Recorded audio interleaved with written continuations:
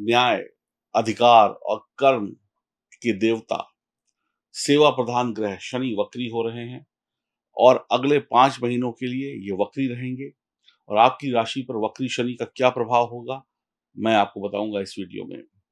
कर्म के देवता शनि वक्री हो रहे हैं, चाल बदल रहे हैं, जून से नवंबर तक आपकी राशि पर क्या प्रभाव होगा और कैसे शनि को प्रसन्न किया जाए, वो महा उपाय क्या होगा। वक्री ग्रह क्या होता है? 30 जून 2024 से 15 नवंबर 2024 तक शनि वक्री रहेंगे। जब भी कोई ग्रह वक्री होता है तो उसकी पावर यानी उसका चेष्टा बल बढ़ जाता है। तो वो अच्छा और बुरा दोनों परिणाम जो है वो डबल स्पीड से देता है। दोनों की गुण बढ़ जाते हैं, अच्छे अच्छे गुण भी बढ़ जाते हैं, बुरे गुण भी बढ़ जाते हैं। वक्री ग्रह को ठोस और सटीक परिणाम देते हैं। वक्री ग्रह जो होते हैं वो ठोस और सटीक परिणाम देते हैं। इनमें इफ़ एंड बट नहीं होता, बिल्कुल एकदम एग्जैक्ट होता है। आपको स्वयं की कुंडली में भी शनि की स्थिति को देखना पड़ेगा। शनि जिस घर में बैठे हैं, वो घर प्रभावशाली हो जाएगा। आपकी जन्म कुंडली में जिस घर में शनि बैठे हैं, अगले पाँच महीनों के लिए वो घर प्रभावशाली हो जाएगा। तो उस घर को भी देखिए, अपनी जन्म कुंडली को खोल कर देखिए। जन्म कुंडली को ज़रूर देखिएगा। अगर आपकी जन्म कुंडली में शनि वक्री है तो शनि का प्रभाव दुगना हो जाएगा। एक तो गोचर में वक्री हो गए और दूसरा आपकी जन्म कुंडली में भी वक्री है। गोचर के साथ साथ जन्म कुंडली को देखना बहुत ज़रूरी है। मेरा नाम है एस्ट्रोलॉजर सचिन पंडित और मैं आपके लिए लेकर आया हूँ शनि का वक्रत्व काल, कैसा बीतेगा आपकी राशि के लिए। बहुत विस्तार से समझाऊँगा और बिल्कुल सही ज्योतिष की जो नॉलेज है वो दूँगा। देखिए, वीडियो लंबा होगा लेकिन समझना पड़ेगा। अधूरा ज्ञान देने का मेरा कोई शौक नहीं, मैं आपको पूरा ज्ञान दूँगा। समझेंगे तो ही आप आगे तरक्की कर पाएँगे। तो प्लीज़ वीडियो को देखिएगा, समझिएगा। वक्री का मतलब होता है उल्टा। और उल्टा ग्रह जो है ना, हम लोग बोलते हैं कि कोई भी ग्रह उल्टा नहीं होता है। पहले तो आप इस बात को समझ लें। हम बोलते ज़रूर है, वो वहाँ पर उल्टा चलता नहीं, हमें दिखता है कि उल्टा चल रहा है। ऐसा प्रतीत होता है कि उल्टा चल रहा है। तो उल्टा चलना होता नहीं है वास्तव में, बस लगता है कि उल्टा चल रहा है। वक्री ग्रह क्या होता है? अब यहाँ से बहुत ध्यान से समझिएगा। वक्री ग्रह पुनः जन्म के कारणों को दिखाता है। यानी आपकी पिछली ज़िंदगी को भी दिखाता है, जो ज़िंदगी आपकी वर्तमान में है और जो आपका पिछला जन्म है, उसको भी दिखाता है। सूर्य चंद्र के अलावा हर ग्रह, हर वर्ष कुछ ना कुछ वक्त के लिए वक्री होता है। सूर्य चंद्र कभी वक्री नहीं होते। राहु और केतु हमेशा वक्री रहते हैं। राहु मोह है, केतु मोक्ष है। राहु क्या है? मोह, यानी कि दुनिया की सारी खुशियाँ हैं। और केतु क्या है? जो सारी इस दुनिया की सारी खुशियों को छोड़कर आगे निकल जाए, यानी मोक्ष है। मोक्ष और मोह के बीच में ही इंसान फंसा हुआ है। मोक्ष और मोह के बीच में ही इंसान फंसा हुआ है। एक पल में आप कहते हैं कि मुझे बहुत पैसा कमाना है, मुझे तो ये बनना है, मुझे डॉक्टर बनना है, मुझे इंजीनियर बनना है, मेरे पास करोड़ों रुपए मुझे कमाने हैं। दूसरे ही पल कर देते हैं दुनिया में रखा क्या है? ये दुनिया तो बेकार है, नशस्वर है, खाली हाथ आए थे, खाली हाथ जाएँगे। तो एक तरफ़ आपके अंदर मोह भी है, एक तरफ़ मोक्ष भी है और इस मोह और मोक्ष के बीच में आप घूमते चले जा रहे हैं, आप चक्की की तरीके से फंसे हुए हैं। मोह और मोक्ष के बीच में इंसान फंसा हुआ है, ये आप समझ गए। वक्री ग्रह पिछले जन्मों के बचे हुए कर्मों को दिखाता है। पिछले जन्मों के बचे हुए कर्मों को दिखाता है। पिछले जन्म में क्या ऋण थे? यानी कि अब जब ग्रह कोई वक्री होता है ना तो कहता है कि अपने ऋणों को उतार लो, अपने कर्जों को उतार लो, अपनी गलतियों को सुधार लो, चाहे वो पिछले जन्म की थी या पिछले, इसी जन्म की जो पिछली गलतियाँ थी, उनको सुधार लो, ऋणों को उतार लो, ऋणों को मिटा दो। ये एक मौका है आपके लिए अपने कंधों पर से ऋणों का बोझ उतारने का। मान लीजिए आपकी जन्म कुंडली में शनि नवम भाव में बैठे हैं। ये कुंडली है, मान लेते हैं आपकी जन्म कुंडली में शनि नवम भाव में बैठे हैं तो नवा घर भाग्य का है नवा घर धर्म का है, ज्ञान का है, ये घर पितृ का भी है, पितृ देवताओं का भी है, पिता का भी है, गुरु का भी है, शिक्षक का भी है तो यहाँ पर क्या मतलब निकला? इसका मतलब निकला कि आपको ईश्वर की सेवा करनी है, आपको धर्म से जुड़ना है इस समय में। आपको तीर्थ यात्रा करनी है, आपको पिता का सम्मान करना है, आपको धार्मिक होना है, आपको तभी शनि शुभ परिणाम देंगे और बहुत शुभ परिणाम। अगर आप ये कर लेते हैं तो फिर कुछ और करने की आवश्यकता नहीं पड़ेगी। ऐसे ही आपकी जन्म कुंडली में शनि किस भाव में बैठे हैं तो उसी भाव से संबंधित आपको काम करने पड़ेंगे, जो मैं आपको, आपकी राशि के अनुसार बताऊँगा, लेकिन जन्म कुंडली आपको अपनी स्वयं देखनी होगी। वक्री ग्रह को भाग्य का ग्रह, यानी डेस्टिनी प्लैनेट भी कहते हैं। जो निश्चित और ठोस परिणाम देता है। वक्री ग्रह इफ़ एंड बट नहीं करता, दो गुणा दो बराबर चार, यानी एग्जैक्ट आपको परिणाम देगा। वक्री ग्रह में चेष्टा बल होता है, ताकत होती है और ये मज़बूत होता है और वक्री ग्रह उच्च ग्रह की तरीके से ही रिज़ल्ट देता है।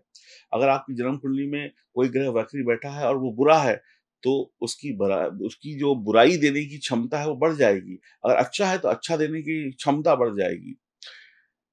बड़े बड़े लोगों की कुंडली में बड़े बड़े लोग, अब वो चाहे हीरो हो, हीरोइन हो फिल्मी एक्ट्रेस हो, चाहे नेता हो, चाहे राजनेता हो, चाहे क्रिकेटर हो, या कोई भी जो बड़े लोग, किसी भी क्षेत्र में जो बड़े बड़े लोग हैं, उनकी जन्म कुंडली में दो तीन ग्रह वक्री होते ही होते हैं। तो वक्री ग्रह से डरना नहीं है। अगर वक्री ग्रह बुरा है तो डरना है तो उपाय करना है। अगर अच्छा है तो बहुत अच्छा है, उसकी पावर बढ़ रही है। वक्री ग्रह राज काज पद प्रतिष्ठा और कभी कभी भटकाव भी देता है। फिर से समझिएगा, वक्री ग्रह राज काज पद प्रतिष्ठा देता है कभी कभी भटकाव देता है, धन और यश भी देता है। अब अगर अच्छा होगा तो वक्री ग्रह राज काज पद प्रतिष्ठा दे देगा और अगर खराब है तो भटकाव दे देगा, ज़िंदगी में इधर उधर भटकते रहेंगे। वक्री ग्रह सरप्राइज़ देता है। सरप्राइज़ तो अचानक से आता है ना, पता नहीं चलता है डिब्बे के अंदर क्या निकलेगा, पता नहीं चलता कि कौन हमें क्या दे देगा? सरप्राइज़ तो वक्री ग्रह हमेशा आपको सरप्राइजेस देता है। शुभ ग्रह वक्री हो तो धनी, राजा, संपन्न जैसा आपका जीवन होता है। शुभ ग्रह अगर वक्री हो आपकी कुंडली में तो आपको धनी और राजा बनाता है। यानी खूब बढ़िया इंसान, पैसे वाला हर तरीके से खुशियाँ देता है। वही पाप ग्रह वक्री हो जाए तो जीवन में भटकाव दे देता है, वो इधर उधर भटकता रहता है और मंजिल पर नहीं पहुँच पाता। शनि अपनी स्वयं की राशि में अभी वर्तमान में बैठे हैं। शश नामक पंच महापुरुष योग कुछ राशियों के लिए बना रहे हैं और अपनी ही राशि में बैठा हुआ शनि वक्री हो रहा है तो पापी तो नहीं कहेंगे शनि को, पर, और परंतु शुभ फल ज़्यादा देने वाला कहेंगे। वक्री ग्रह पिछले जन्मों का ऋण है। वक्री ग्रह पिछले दिनों की की गई गलतियाँ हैं, उनको सुधारना है। वक्री ग्रह होने पर क्या होता है? वक्री ग्रह जब होता है तो वो पाँच दिन पहले से ही अपने परिणाम देने शुरू कर देता है, वो बदल जाता है। और वो कहते हैं ना कि सरप्राइजेस देने शुरू कर देता है पाँच दिन पहले से ही। तो ये तीस जून से हो रहा है तो पच्चीस तारीख से आपको रिज़ल्ट मिलने शुरू हो जाएँगे। जब ग्रह वक्री समाप्त होने वाला होता है तो उससे पाँच दिन पहले, यानी शुरू होने से पाँच दिन पहले खत्म होने से पाँच दिन पहले बिल्कुल ही ग्रह बदल जाता है। अजनबी हो जाता है आपके लिए, वक्री ग्रह अजनबी हो जाता है आपके लिए। फिर वो सब सरप्राइजेस देने लगता है। तीस जून से पंद्रह नवंबर तक शनि वक्री है। पच्चीस जून से दस नवंबर के बीच में कोई नया काम शुरू करने की कोशिश ना करें। खास करके जो भी लोग शनि संबंधी व्यवसाय करते हैं, रियल रियल इस्टेट में है, ट्रेवल में है, ट्रांसपोर्ट में है, ऑयल इंडस्ट्री में है, सरकारी नौकरी में है जिसमें आपका ये लॉयर वगैरह है तो थोड़ी सावधानी रखनी होगी। बड़ी सावधानी के साथ आगे चलना है और आपको उपाय भी करना है। अब आपको यहाँ तक अगर मेरी बात समझ में आई तो आप लोग चैनल को सब्सक्राइब करें, बेल आइकन के बटन को दबाएँ फेसबुक इंस्टाग्राम पर हमें फॉलो करें और अपना प्यार दें और कमेंट बॉक्स में जय शनिदेव ज़रूर लिखें। फिर मैं कहूँगा आपकी जन्म कुंडली को भी ज़रूर देखिएगा इस पूरे वीडियो के साथ। वहाँ पर शनि कैसे बैठे हैं, उसको भी देखना ज़रूरी है। गोचर में तो पता ही है, लेकिन जन्म कुंडली में कहाँ है, कैसे हैं, किस अवस्था में है, ये देखना भी बहुत आवश्यक होगा। शनिदेव को कैसे उपायों से खुश किया जाए? शनिदेव के इष्ट देव हैं भगवान शिव। शिव को की उपासना जो है ना, उसको करने से शनिदेव शांत होते हैं और हनुमान जी की उपासना करने से भी शनि प्रसन्न होते हैं और शांत होते हैं। तो एक उपाय निकला, शिव जी की आराधना करनी है और हनुमान जी की आराधना करनी है। प्राण प्रतिष्ठित मंदिर में जाकर करनी, जहाँ पे मूर्तियाँ प्राण प्रतिष्ठित हो, शिवलिंग प्राण प्रतिष्ठित हो, ऐसे किसी भी मंदिर में जाके आप या घर पर रहते पूजा पाठ से कोई लाभ नहीं मिलने वाला। प्राण प्रतिष्ठित मंदिर में ही जाकर आप पूजा करें। शनि को शांत करने के लिए आप रुद्राक्ष पहन सकते हैं, शनि को शांत करने के लिए आप नीलम पहन सकते हैं। अब देखिए, नीलम और रुद्राक्ष ये दोनों जो है ना, बहुत महँगी चीज़ें आती हैं, लेकिन शनि को प्रसन्न करना है और माला माल होना है तो उपाय तो करने पड़ेंगे। कुछ उपाय बताऊँगा, जो घरेलू होंगे, उनको भी कर लीजिएगा। तो शनि को शांत करने के लिए जो सस्ता उपाय है, वो है सात मुखी रुद्राक्ष, आप इसको पहन लें, क्योंकि ये रुद्राक्ष लक्ष्मी जी का भी है, बस इसकी पावर थोड़ी सी कम है, ये कम पावर के साथ चलेगा क्योंकि ये सस्ता भी है। अगर आपको बहुत अच्छा रुद्राक्ष चाहिए, कहते हैं सुप्रीम पावर तो आपको चौदह मुखी रुद्राक्ष पहनना पड़ेगा। इसके अंदर वो पावर है कि आप सोच भी नहीं सकते। ये आपको ऐसे सरप्राइजेस देगा कि आपका जीवन खुश हो जाएगा और बड़े बड़े लोग इसको पहनते हैं। ये महँगा है। भगवान शिव कहते हैं कि चौदह मुखी रुद्राक्ष देवमणि है। पार्वती जी को शिव जी कहते हैं कि मैं इसे अपने मस्तक पर रखता हूँ। तो चौदह मुखी रुद्राक्ष जिसने पहना, उसका बेड़ा पार है। जो भी लोग शनि को बिल्कुल शांत करना चाहते हैं, वो अपने जीवन में कोई गड़बड़ी नहीं चाहते, वो अध्यात्म से जुड़ जाए। वो लोग मेडिटेशन कर लें, वो लोग चौदह मुखी रुद्राक्ष पहने, वो लोग सात मुखी रुद्राक्ष पहने और नहीं तो रुद्राक्ष कवच पहने। रुद्राक्ष कवच में तीन सात मुखी रुद्राक्षों का कवच होता है, ये पहने। जिसके पास पैसे हो, वो चौदह मुखी पहने, जिसके पास थोड़े से अच्छे पैसे हो, वो रुद्राक्ष कवच पहने और जिसके पास कम पैसे हो, वो सात मुखी पहने। आप नीलम रत्न भी पहन सकते हैं, एमिथिस भी पहन सकते हैं, काले घोड़े की नाल भी पहन सकते हैं, लेकिन वो सही तरीके से बनी होनी चाहिए। तो अगर आपको सात मुखी रुद्राक्ष चाहिए, आप एल सेवन लिखकर दिए गए नंबर पर व्हाट्सएप करें। अगर आपको फोर्टीन मुखी रुद्राक्ष चाहिए तो आप एल फोर्टीन लिखकर दिए गए नंबरों पर संपर्क करें और एल एट लिखकर आप संपर्क करें अगर आपको रुद्राक्ष कवच चाहिए। बाकी उपाय आपकी राशि के अनुसार मैं आपको बताऊँगा। कुछ भी पहने, श्रद्धा से पहने, विश्वास से पहने और मैं ये फिर कहूँगा कि रुद्राक्ष बहुत ताकतवर है, रत्न भी ताकतवर है। देखिए, चौदह मुखी रुद्राक्ष साक्षात शिव है और सात मुखी रुद्राक्ष ग्रह है। और रत्न ग्रहों की उपाधि में आते हैं। तो चौदह मुखी पहनने वाले लकी होंगे। अब बात करते हैं आपकी राशि पर, शनि का क्या प्रभाव पड़ेगा? अब हम बात करते हैं राशि चक्र की आठवीं राशि, वृश्चिक राशि की मंगल स्वामी है। वृश्चिक राशि वालों को शनि चौथे घर के स्वामी है और वक्री होकर चौथे और तृतीय भाव का फल देंगे। और देखिए चौथे घर में कुंभ राशि है, तृतीय भाव में मकर राशि है तो दोनों भावों के स्वामी हैं और शनि को तीसरा घर बहुत ही ज़्यादा पसंद है। वर्तमान में तीसरे घर में गोचर तो नहीं हो रहा है, लेकिन तीसरे घर का वक्री होने के कारण रिज़ल्ट दे रहे हैं। शनि को तीन छ दस, ग्यारह भाव बहुत पसंद है, ये उच्च भाव है, शनि यहाँ पर रहना या इस भाव से गुजरना पसंद करते हैं, और जो जिसको पसंद होता है तो फिर वहाँ पे अच्छे परिणाम भी मिलते हैं, यानी शुभ फल भी मिलते हैं। शनि पीछे ज़रूर चल रहे हैं, शनि आपके चौथे घर में बैठे हैं, लेकिन तीसरे घर के भी रिज़ल्ट दे रहे हैं, तीसरे भाव का भी फल दे रहे हैं तो ये आपके लिए बहुत अच्छा है, बहुत शुभ है, बहुत शानदार है, बेहतरीन है। शनि पीछे जाकर आपको आगे बढ़ा देंगे। शनि पीछे जाकर आपको आगे बढ़ा देंगे। इसका मतलब क्या हुआ? आपको ज़बरदस्त सफलता दे देंगे। शनि की ढैया चल रही है, चिंता परेशानी बिल्कुल नहीं, डर बिल्कुल मत करिए, सब बढ़िया होने वाला है। आप इस समय में शनि की ढैया की वजह से जो परेशानी झेल रहे हैं वो ये है कि आप बहुत नेगेटिव हैं। आपके मन में बुरे बुरे विचार आ रहे हैं, कुछ भी अच्छा करने से पहले, सोचने से पहले आप बुरा सोचते हैं।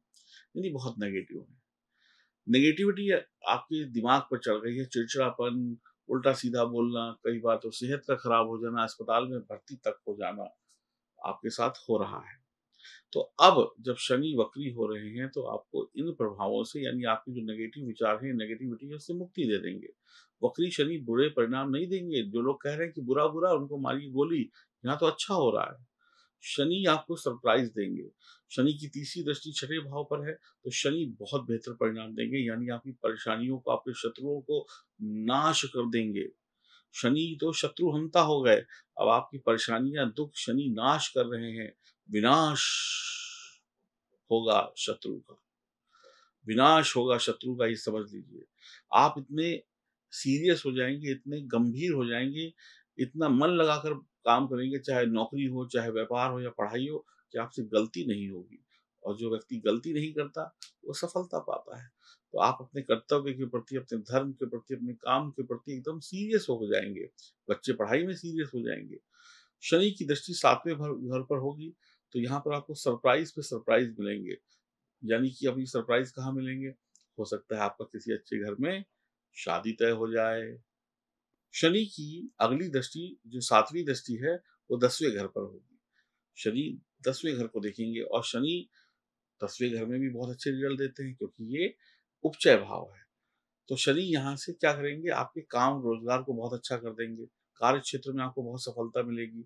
यानी नौकरी में ट्रांसफ़र हो सकता है, ट्रेवल अचानक से हो सकता है मन चाहिए परमानेंट नौकरी हो सकती है, टेम्परेरी नौकरी खत्म परमानेंट शुरू।